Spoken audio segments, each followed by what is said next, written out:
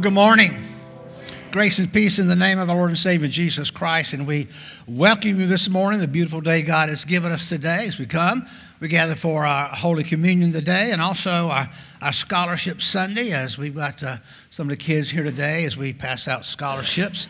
And I'll share some of that a little later. Just a, a couple of announcements this morning, and I'm going to ask if uh, Stephanie would share a couple of announcements with us. The first one is just a reminder that um, we'll still be set up in the fellowship hall uh, right after the service today um, for you to double check your information for the church directory um, and also to update your picture in the um, online church directory if you need to do that. Or if you don't have a picture in the directory, please come let us get your picture so we can get it in there. So that's today's the last day for that, or you can come see me in the office on Wednesdays and Thursdays. The other one is a celebration. I want to remind everybody again that next Sunday, June 11th, following the service, we are going to have a potluck lunch to celebrate somebody's retirement. Joe's? It's not Joe. Oh. Joe hasn't worked quite as long in his career as this one has. So 48 years of ministry in the United Methodist Church, so I think that's uh, to be celebrated. So be sure to uh, bring a dish or two with you uh, next Sunday to church and stay for lunch and help us celebrate. Thank you. Thank you so much, Steph. Also, uh, by popular demand, there will be uh, pictures with the pastor, if like a picture with me, and they will be $100 a piece, and uh, will be set up over in the corner there. Cash only, cash only, okay? A couple of things. A charge conference uh, after church. This is for our church council. Simply a formality as we uh, need to approve one item of business, and we'll be in the front of the church. Also, uh, we have already shared this, but uh, Betty Meggs uh, has uh, joined the church triumphant, and her service will be next Sunday um, at 2 o'clock. Uh, she and her husband Raymond were longtime members here, and uh, we give thanks to God for her and we'll celebrate her life at that time. Let's continue to worship. Would you join me as we pray? Well, good and loving God, we thank you for this day we get to come to the Lord's table, this wonderful table of grace that reminds us of your love for us shed abroad in our hearts by your Holy Spirit and reminds us of what God has done for us in Jesus Christ. As we come this morning, we come as imperfect people serving a perfect God who loves us, who sustains our lives and calls us to a purposeful life. And it's your wonderful and precious name we pray. Amen. Would you stand as you're able this morning for our call to worship?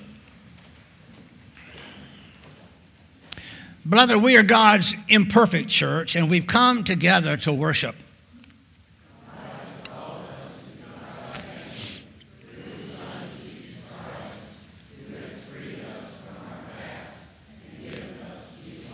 God has given us His Word so that we might learn to live as God's redeemed and transformed people.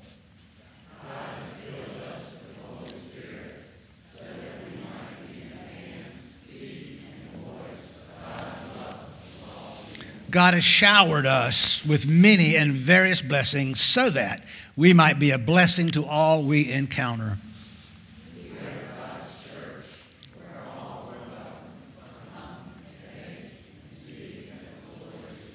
Remain standing as you're able for our opening hymn.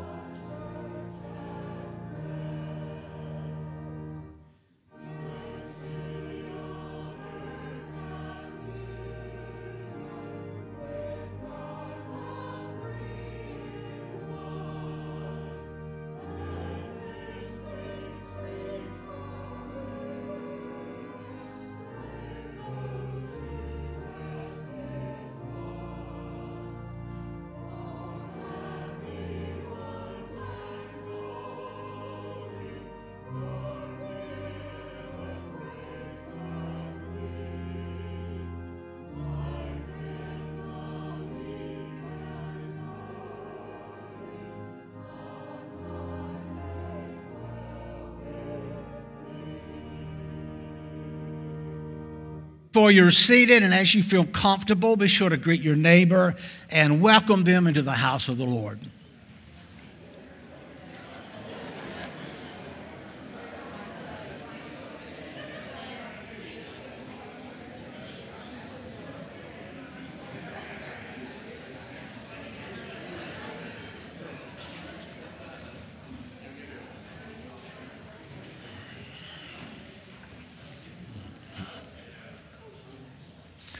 One of the, one of the great blessings of a church that's been in ministry for over 200 years now is that uh, many generations have been served in this uh, congregation. Uh, and through the years, uh, folks who have been generous uh, with the way God has blessed them have left endowments uh, for scholarships. Um, in fact, um, I've pastored every church you can think of, high steeple. This, is, uh, this church has one of the largest endowments for scholarships I think I, have ever seen uh, through the uh, generosity of the folks who've gone before us. And that's something we all should take into account uh, that we might leave behind for someone. And so uh, today is that great day they, we get to uh, distribute these scholarships, these kids so that they can fulfill the dream that God has placed in their hearts. And for that, we are grateful. So I'm going to ask if uh, Sarah Winslow would come. She's chairing our, our uh, scholarship team, and uh, today we welcome her.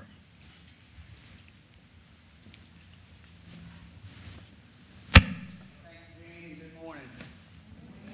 What a great day to celebrate. As Jean said, Hertford United Methodist Church is very fortunate to have had members and families to establish scholarships and endowment funds. Some have been established in memory and some in honor. And the United Methodist Foundation funds include the Dorothy White Barbie Scholarship Fund, Leslie and Robert Knowles Barber, Frank and Annalie McGugan, Joe and Atha Tunnel, Ruth Winslow and Thelma Elliott, Raymond and Betty Meggs, and Francis Munn and Tim Brin camping scholarships. Some of these have been in existence for many years, with the Knowles dating back to the early 1970s. Needless to say, continued education was very important to these folks, with many being teachers. All of these endowments are invested within the United Methodist Foundation, managed through our Permanent Endowment Committee with oversight by the trustees. The January 1 total market value of these scholarship funds was over $286,000, with our total endowments of $666,000.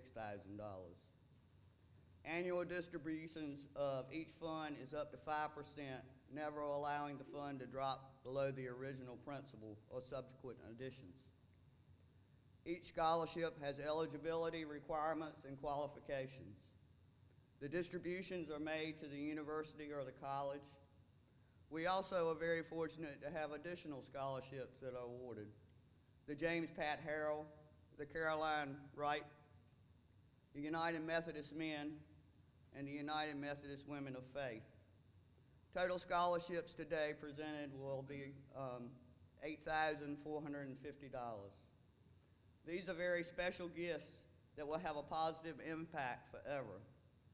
As a member of this church, chair of the endowment committee and the scholarship committee, I say thank you to those who have established and contributed these funds. We are truly blessed. At this time, I would like to call Carol Kuhn to the presentation uh, for the United Methodist Women of Faith.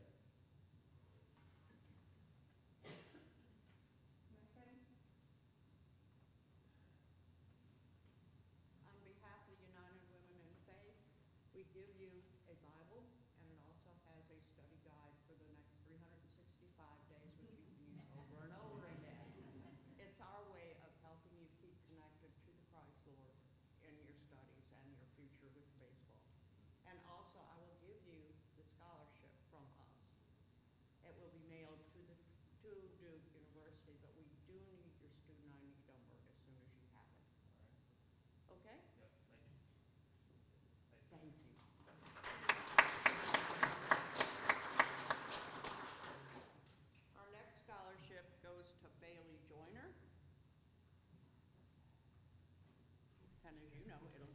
school. Con- Congratulations, Norman.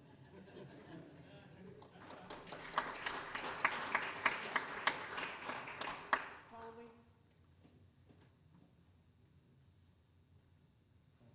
Colby shaking Bake Brown. On behalf of United Women in Faith, congratulations.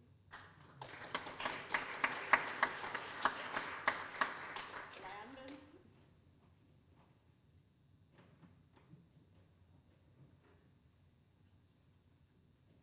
On behalf of United Women in Faith, congratulations, it will be sent to your school. You're welcome. Allie?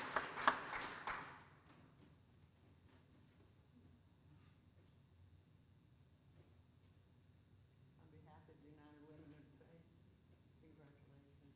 And thank you, ladies and gentlemen. There is a lot of children. Thank you, Carol. Now I'll recognize Buck Bunch, President of United Methodist Men.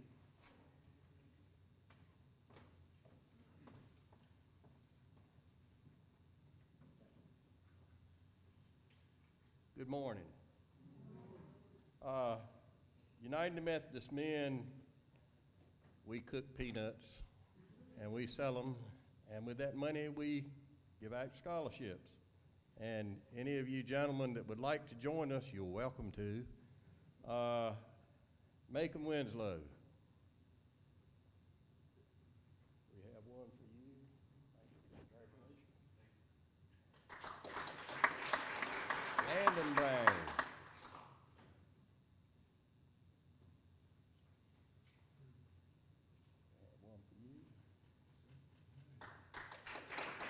And Colby. Brown brother.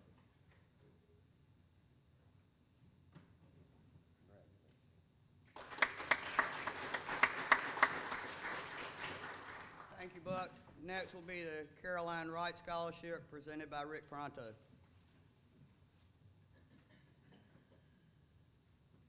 Good morning. The Caroline Wright Music Scholarship was established to recognize and honor Miss Caroline's contribution to Perquimans County School System as a music educator for many years and as music director here at Hertford United Methodist Church from 1958 to 2008. The scholarship was initially set up to financially assist students pursuing higher education within the field of music and performing arts, and later broadened to include deserving students pursuing any field of higher education. This morning, I'm honored to award this scholarship to Colby Brown, Landon Brown, Natalie Corprew, and Mason Winslow.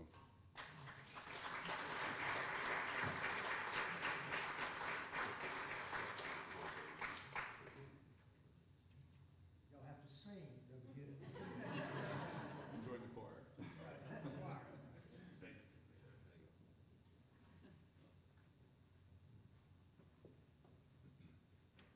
I'm glad Rick brought up about the fine print that was down there at the bottom about requirement to join the choir.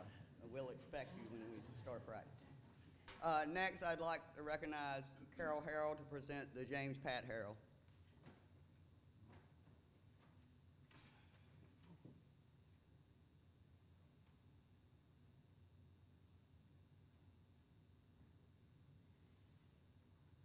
Good morning. Sarah to- asked us to say a little bit about our loved one who's gone on, and I'll be brief. But all his uh, life, he loved sports, my husband Pat, and um, he wanted to be a coach. So, of course, to be a coach in the public schools, you have to be a teacher too. well, he was a good teacher. He was a biology teacher and a coach for one uh, for five years. The first year in Virginia, and then the second through the sixth year, he was in at Millbrook High School in Ro- uh, Wake County at the time. They weren't joined together. Uh, after I graduated from college in Greensboro, we were married that summer, and then I taught at Millbrook one year. And he, can you all hear me? And then he was um, chosen as principal of Hertford Grammar School, so we moved home because we are local yokels, Aurora. And that was very nice. We got to be close to our families. He enjoyed doing that, uh, that principalship. He really loves children or loved children of all ages. He then went to COA to be the assistant director of uh, adult education. But that didn't um, suit him too well. It was just too much busy work filling out forms, and he didn't like that. I'm sure, no um, disrespect to COA, but those kinds of things have to be done, and they were allotted to him to do. And he, he thought he could do something more productive than that. So then he was uh, worked for the public, uh, the um, North Carolina Public Education. I came, I'm a retired teacher, and I came public education, DPI. He worked for them for maybe three years, getting a, a new project started, and it was in, and the pilot project was in northeastern North Carolina, which was nice. We stayed right here in Hertford while he did that, although there were 10 counties involved. And the uh, centers in each region came from that project, so he was really proud of that. Then he came to, to County as assistant superintendent, and then he was a superintendent. And then we moved to Dare. He was assistant there. I mean, he was superintendent there, where he retired. So he was a lifelong educator, and even after he retired, he was interim superintendent at four or five school systems, and also at COA for a while, when he really loved COA then. that was uh, he was in his uh, strong suit as an, an administrator. So he'd be very proud to know that his legacy is helping students, even though it's not a large amount. It is a little bit, maybe it'll buy one or two books. And Macon, we'd love to give this to you this year.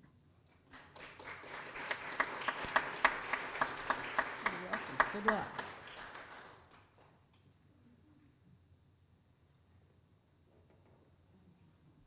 Thank you, Carol.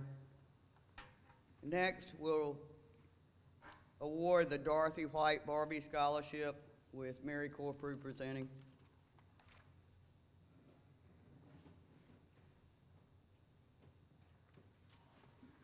Good morning. Uh, my mother, Dorothy White Barbie, was born in 1906, the eldest of three children. She lived from the time of the Wright brothers to see men land on the moon. She was 96 when she died in 2003.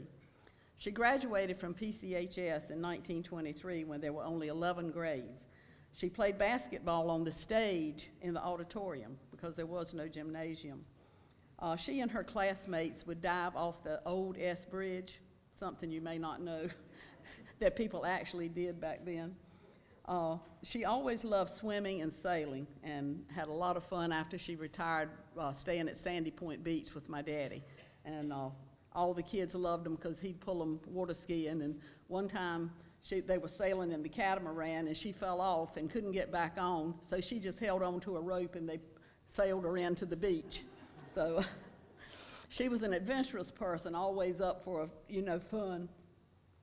After graduating from Greensboro College, she returned to teach at PCHS from 1927 to 1972, with a few years off being a full-time mother to my sister and I, and me. Excuse me, Mom. She's right there on my shoulder with that English grammar. Uh, while at Greensboro College, she and a friend once thumbed from Norfolk, Virginia to Greensboro, with everybody that picked them up telling them how dangerous that was and they shouldn't be doing it.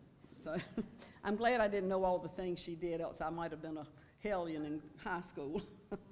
she taught French, was the school librarian, and was also a senior sponsor. She told me she was so homesick at college she thought she would die. Her mother made her stay for the first semester. By the time that was over, she had made lifelong friends who continued to have house parties and college reunions for 50 or 60 years.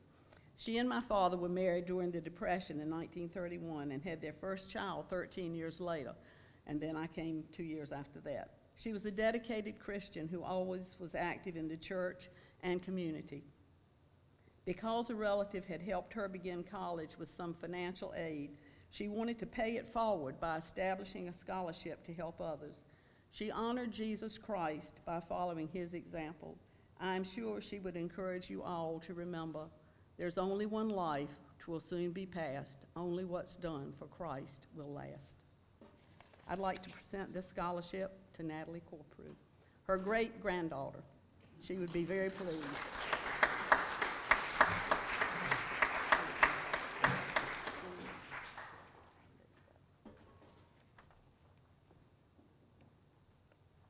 Thank you, Mary. Next will be the Leslie Barber Knowles, Robert Knowles Scholarship. As I mentioned in my comments earlier, this is uh, the first scholarship or endowment that was established.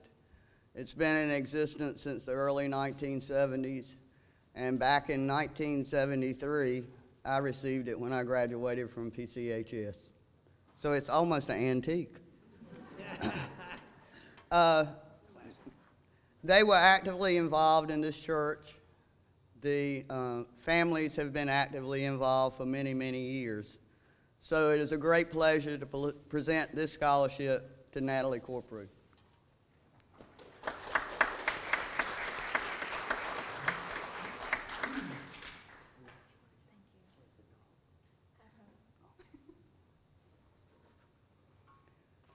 Next scholarship will be the Joe and Atha Tunnel, and Lee Tunnel will be presenting.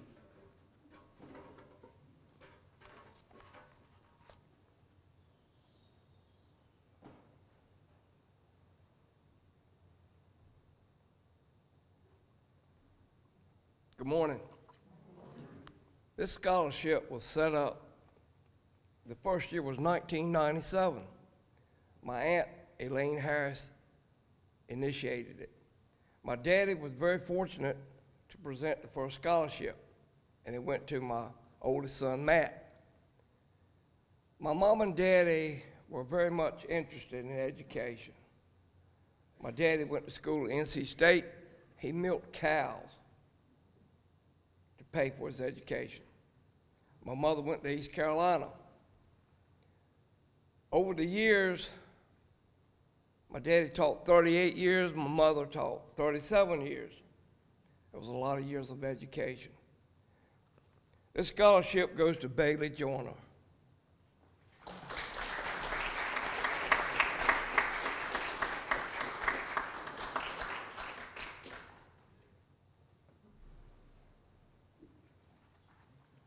The next scholarship will be the Frank and Anna Lee McGugan Scholarship.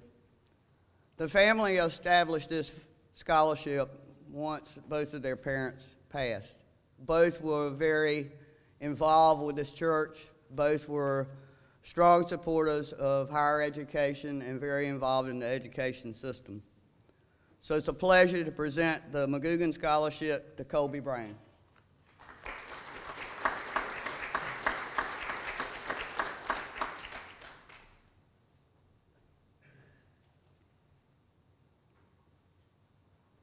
The next scholarship is the Raymond and Betty Megg Scholarship.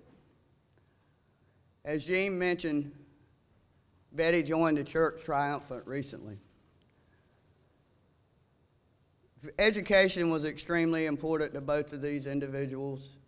And if you've ever been here on a scholarship Sunday before, when Betty presented, you knew the love story that Raymond and Betty had.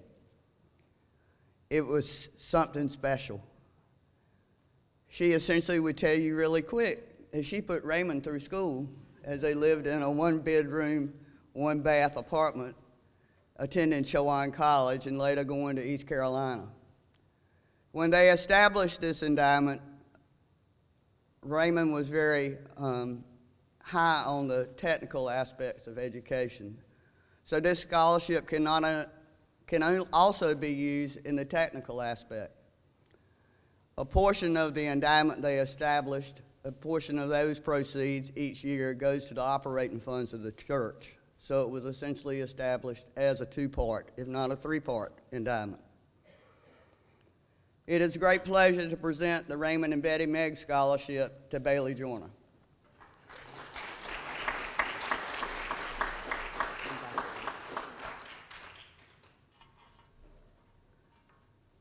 The next scholarship is the Ruth E. Winslow Thelma W. Elliott Scholarship. Y'all have to bear with me. Usually I can't get through this.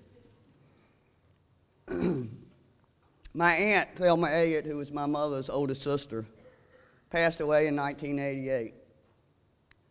She was a teacher, principal at Hertford Grammar School for many years, principal of the old Hertford Grammar School that's up here at Central Park, as they called it, which caught on fire in a very, very cold winter day, as I was told. She made sure that all the children and all the stu- and all the teachers got out of that building. They might not have even had a coat on their back when they got out, but they all got out safely. At that time, she was very excited when the new Hertford Grammar School was built, as it stands today. She was very proud of her teachers, her students, the building and opportunities that they had. When she retired, she was still involved in education. She ran and was successful in being uh, elected to the Perquimans County School Board. At that time, she was the first female to serve on the Board of Education. My mom, she was my second grade teacher. And some of you have had um, your parent or your mother for the teacher, and you know um, it's hard to get by with anything. Uh, and then you throw your aunt being the principal in on top of that, and that even gets a little more complicated. But Mama attended um, at that time what is now UNCG, but was Women's College, and graduated. Ty or Thelma attended East Carolina or Teachey College, as they called it back then, and also obtained her master's. So combined between the two, they had about 75 years in education. So it is with great pleasure that I present the Winslow Elliott Scholarship to Landon Brain.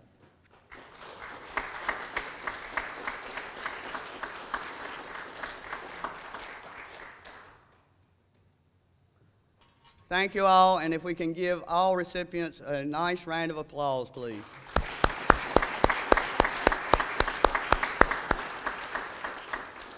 And following the service, if y'all would please gather up front so we can get some pictures. Thank you. Well, what a wonderful day this is, and I know the kids are going, well, that's great, but the parents are going, hallelujah, hallelujah. I know I've been sitting in that chair. Oh, making, by the way, that Bible and all they gave you uh, at the end of each week is a little test that has to be sent to the pastor, checked off, and sent back to you. Uh, so we'll be getting in touch with you. I'm just kidding, y'all. uh, this morning, as we go to the Lord in prayer, uh, one of the things we want to remember also, UMCOR, United Methodist Committee on Relief, probably the greatest outreach to uh, uh, catastrophes that we have in our country. Uh, we are working in Mississippi, and uh, we want to continue to pray for the folks in Mississippi with the tornadoes. If you'd like to give to UMCOR, just uh, make, write that on your check, and it will go to the Mississippi Toronto, uh, tornado relief. I also, remember the folks on our prayer list this morning, and as I said, the family of Betty Meggs, as we'll have our homegoing service on Sunday. Uh, Johnny Corprew is home and recovering and also continue this for Chicago Yor and uh, Brenda White and others that are there. So, will you join me this morning as we pray?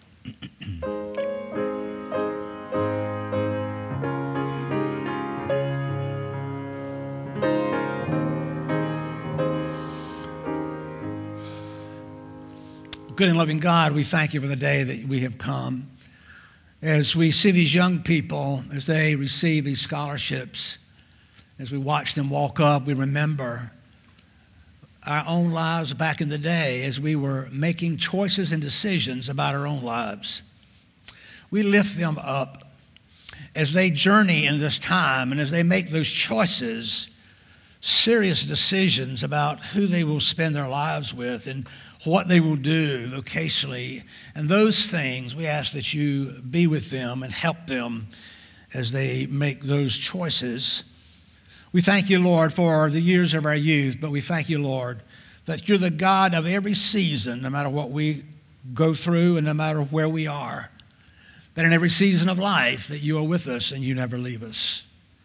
We come this morning confessing our own humanness in that we miss the mark. That there are times when we do things we should not do, don't do things we should do. But thanks be to God who gives us that victory in Jesus Christ. We come as a thankful people that we have been blessed in ways that are beyond measure so that we may be a blessing to the world that we live in. We come this morning and pray for one another.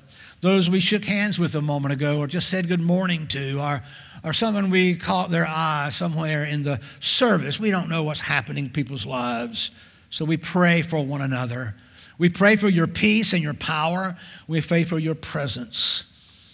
And God, as we come this morning, we ask you to speak to us today about our own lives and our relationship with you so that we might be the voice, the hands, and the feet of Christ in the world in which we live. And so we pray now that prayer you taught us to pray. Our Father, who art in heaven, hallowed be thy name.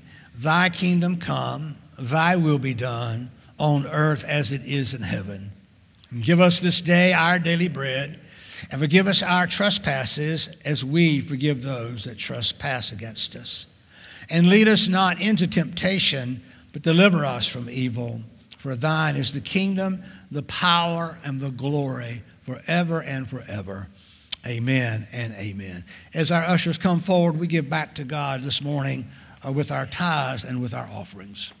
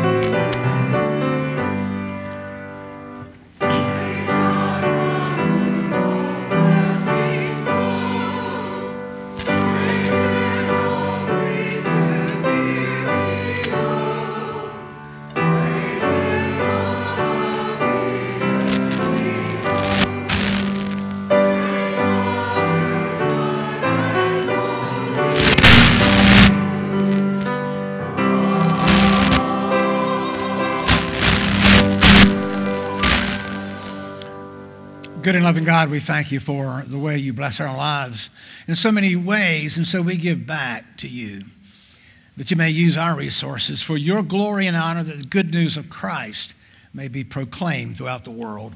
In your wonderful name we pray. Amen. Remain standing for our hymn of preparation.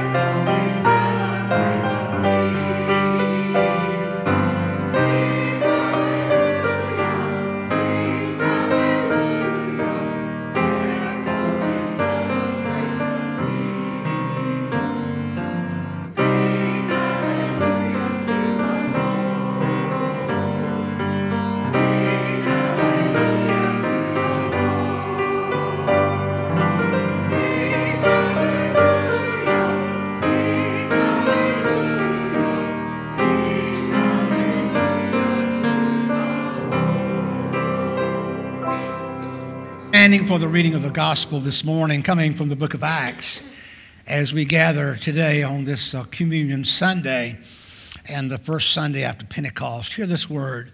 Now, they devoted themselves to the apostles' teaching and to the fellowship, to the breaking of bread, bread to the breaking of bread and prayer. Everyone was filled with awe and many wonders and miraculous signs were done by the apostles. And they believe, and the believers were together and they had everything in common. Selling their possessions and goods, they gave to anyone as he had need. And every day they continued to meet together in the temple courts. They broke bread in their homes, ate together with glad and sincere hearts, praising God and enjoying the favor of all the people. And the Lord added to their number daily those who were being saved. Beloved, this is the word of God for us, the people of God. Let us pray. Lord, the words of my mouth, the meditation of all of our hearts be acceptable to you and speak to us wherever we are in life, wherever we are in our relationship with you this morning. You speak to us about what it is to be a follower of Christ and why this table is so powerful. And it's your wonderful and precious name we pray. Amen. You may be seated. Well, I hope you had a great week this week. And I guess as you know, uh, over our house, we get down to the short rows. Anybody, y'all know what short rows are? I mean, I know y'all don't have tobacco fields here. Anybody pick tobacco here besides me and uh, me and uh, Buck over here? We're the only ones. Oh, we got a few folks back here. All right, good there. Yes, uh, the short rows meant uh, the, it's getting shorter and you get to go home. That's what that meant. And so that's kind of what we're doing. We're packing and figuring out what to throw out, what to keep, and all those good things. Doing it in the office. And I ran across this little thing I found somewhere, and, I, and I'm sure I've read it, but I thought you'd like it this morning. Things you never hear in church. You with me? Things you never hear in church. hey, it's my turn to sit on the front pew. Two, I was so enthralled with your message, I never even noticed you went an hour over. An hour over. I only go like 30 minutes over, okay? Uh, I've decided to give our church $500 a month. I've been sitting to the TV evangelists. These ain't resonating here. I'm doing my best here. Hang with me, guys. Uh, I love it when we sing songs I've never heard before. All right, that's a little better.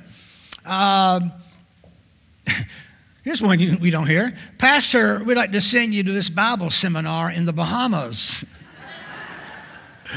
and I know you're going to love this one. Nothing inspires me and strengthens my commitment to Christ like our annual stewardship campaign. Can I get an amen, somebody? All right. Well, last week we were looking at the church. It was the birth of the church. It was the day of Pentecost, and we preached that message on the Pentecost as those 3,000 were added to the church on that day as uh, Simon Peter preached that message, and the man asked, What shall we do? And he, he shared that little word we've been sharing for 2,000 years, and that is uh, repent of your sin, repent, turn to God, be baptized in the name of Christ or accept Jesus Christ as your Savior and Lord. Receive the gift of the Holy Spirit and begin to live for Jesus. And that's exactly what happened. Uh, on that day of Pentecost, 3,000 were added to the number. The question this morning, as we come to the Lord's table, is that what did they do after that? And that's what our text is about this morning. It tells us exactly what these young Jewish believers began to do. And, and, and, it's, it's, it really is a, a formula for us in our own relationship with God and our own dis, uh, uh, disciplines in our, in our Christian walk.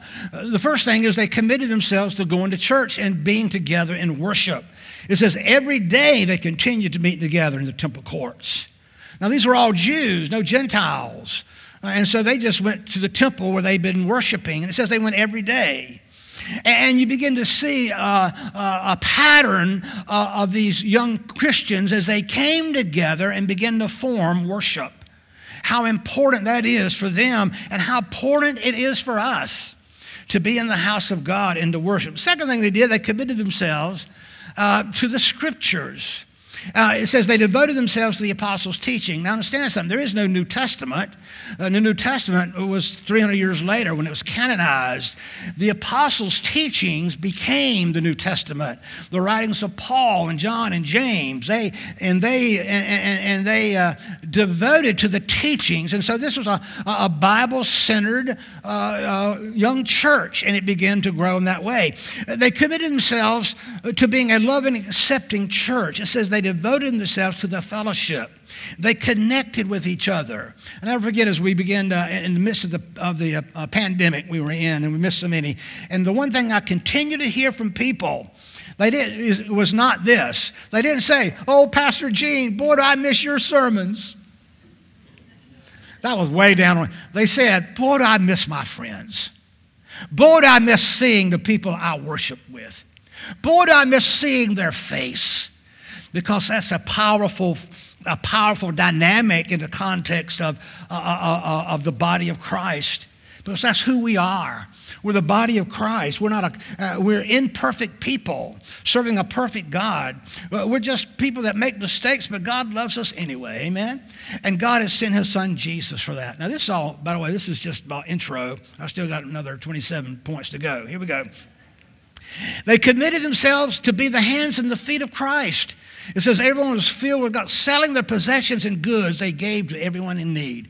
And so they began to be the hands and the feet of Christ. They found in their body somebody who was out, they sold possessions so that they could have.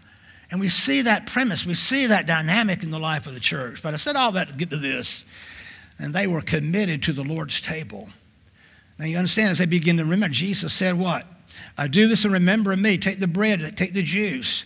So it wasn't like we're doing it today. There were no fancy tables. There were no silver goblets. You know, these were just Jews eating together, and they begin to form what you and I call the Lord's Supper together. And they would come and they would eat the meal, a meal, and then they would, and that became later uh, evolved in what we see today. In fact, Paul admonishes one church because when they came together to eat the Lord's Supper, they all got drunk. They were drinking wine and got drunk, acting like uh, acting like Baptists. You know what I'm saying? They were doing those kinds of things. I'm just kidding. If any Baptist people in here, I'm playing, okay? You know, but that, and Paul said that's not what the table is all about. It's the table is where we come for, for the grace of God. You know, I grew up in, uh, uh, in the home of a Methodist pastor and elementary school teacher. My dad was in World War II, a Marine in World War II. Mama was a, uh, worked the uh, switchboards for the government, for the military, for, and they had a, lived sort of a regimented life, and I sort of inherited that, and, and our family was kind of like that. We got up at a certain time, ate a certain time. We always ate uh, our supper at six o'clock. Anybody grow up looking like this? Anybody else know what I'm talking about? Some of you, some of you kids have got no idea what we're talking about. Just Google it, and you'll see people, people sitting around tables eating supper and stuff like that. You know, that's kind of how we used to do it. And uh, but six o'clock was supper time and you didn't miss supper time, you know, and we'd gather around the table. I'm sure I thought it was a pain. I'm positive I did. But when you look retrospectively, it's when we built our family together. We built our family together. Uh, later, when I was playing sports, you know, that's the only time I could miss supper if I had practice. When we come to the Lord's table, it's like that for us. It's supper time for us because we're coming to the Lord's table. You know, this is a sacrament. That word sacrament is, is, a word that means a sacred moment. In our tradition, we have two of them baptism and we have Holy Communion, meaning there's a special time when the Holy Spirit is present. When we come to the Lord's table, we look and we're, it reminds us, it reminds us what God has done in Jesus Christ. We call that the grace of God. We're reminded of this prevenient grace that God loves us before we ever loved God. When we're born in this world, we're born separated from God, but God has placed this little spark where we can respond to God. And then in our journey, somewhere along the line, the Holy Spirit woos us and draws us to this place where we then claim God through Jesus Christ. We call that conversion or salvation. Uh, uh, uh, Paul says, For by grace are we saved through faith. It's a gift of God. And that's that thing called just. And we're reminded this morning that if you hear this morning, I remember I used to come to church when, uh, you understand something? I grew up in the church. I'm a, I'm a prodigal son and went off to college like some of you did and, and acted crazy and acted a fool. And I am so glad they didn't have cameras in those days. Can I get an amen, somebody?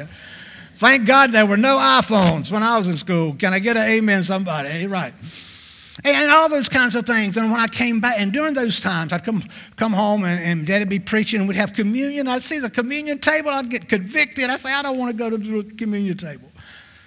God, you know what I've been doing.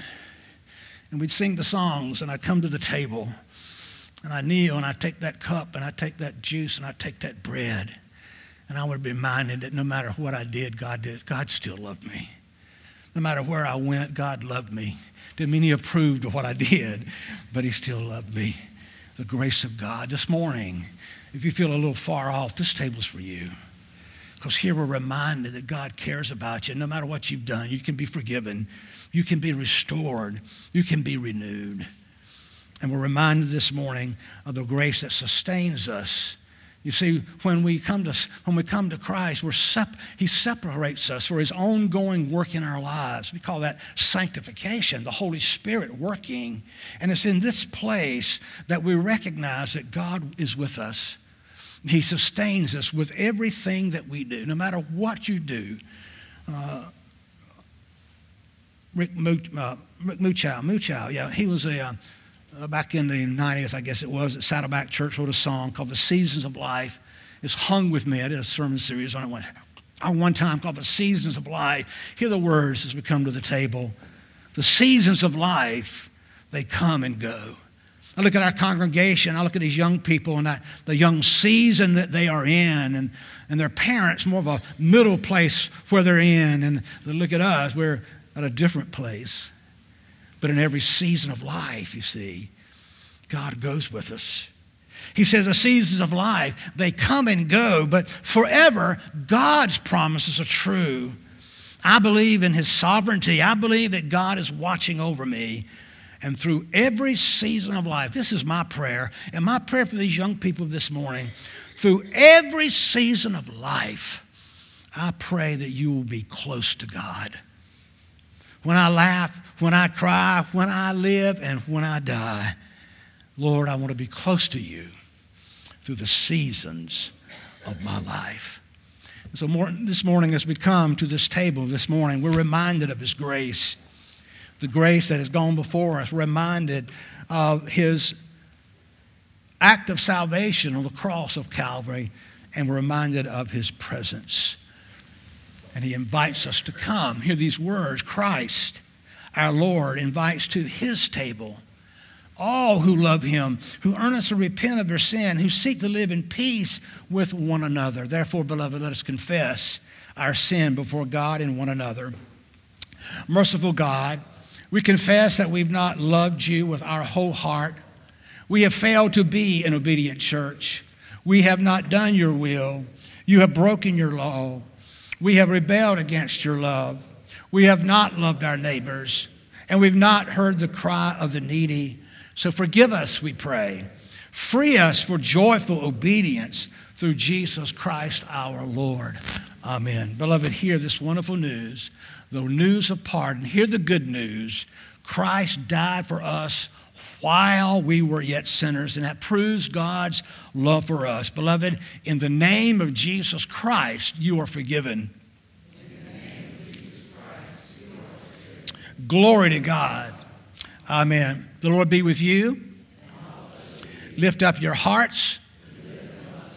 And let us give thanks to the Lord our God. It is right and a good and joyful thing always and everywhere to give thanks to you, Father Almighty, creator of heaven and earth, for you formed us in your image. You breathed into us the very breath of life. And when we turned away and our love failed, God, your love has remained steadfast. You delivered us from the captivity of evil and sin. You made covenant to be our sovereign God. You have spoken to us in these days through the prophets. And so, with your people on the earth and the company of heaven that surrounds us now, we praise your name and join in their ending hymn Holy, holy, holy Lord, God of power and might. Heaven and earth are full of your glory. Hosanna in the highest. Blessed is comes in the name of the Lord. On the night that on the night that he was betrayed, he took the bread.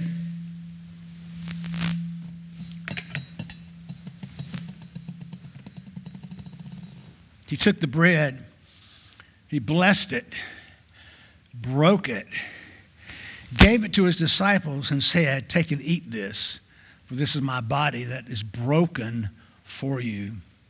Then, likewise, after the supper, he took a cup and he lifted it and he blessed it, gave it to his disciples, and said, Take and drink. For this is a drink of the new covenant, no longer based on the old covenant laws, but on a covenant of God's grace. Do this in remembrance of me. And so, in remembrance of these, your mighty acts in Jesus Christ, we offer ourselves in praise and thanksgiving as, as, a holy and living sacrifice in union with Christ's offering for us as we proclaim the mystery of the faith that Christ has died and Christ will come again. Open your hands as we invite Holy Spirit.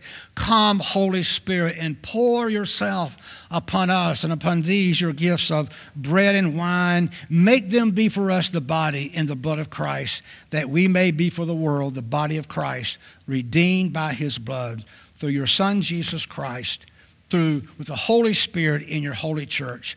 All honor and glory is yours, Almighty Father, now and forever. Amen. If my servers would come at this time.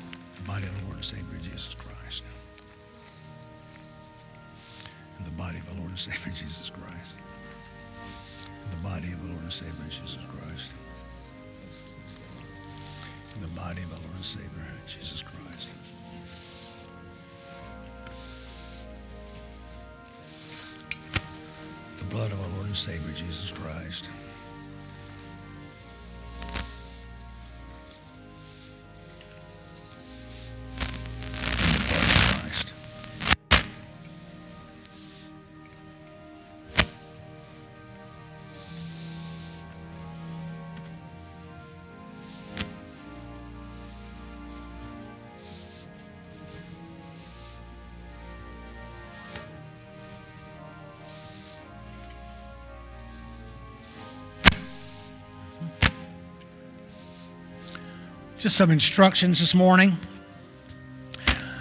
The table is open to everyone. You don't have to be a member of this congregation. As we partake together, we'll go around the sides and come up. You'll just cup your hand, someone will piece a piece of bread, take that and eat it. Then they'll give you a cup, take and drink it, put it in the rail here. Feel free to kneel if you like and pray. If you, if you can't kneel or don't kneel, you can stand and pray. Uh, I'll be here with oil. It's anoint and pray with you if you'd like. Songs will be played and they're familiar. We sing them. It's worship service. And so as we come, we come giving thanks to God. Come as you're directed by our ushers.